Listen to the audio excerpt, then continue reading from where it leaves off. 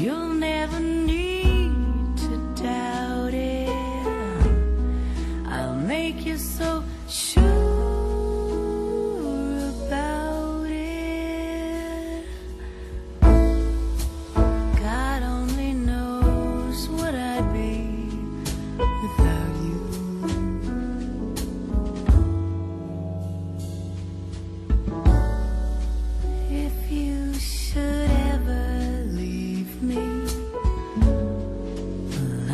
Still go on, believe me.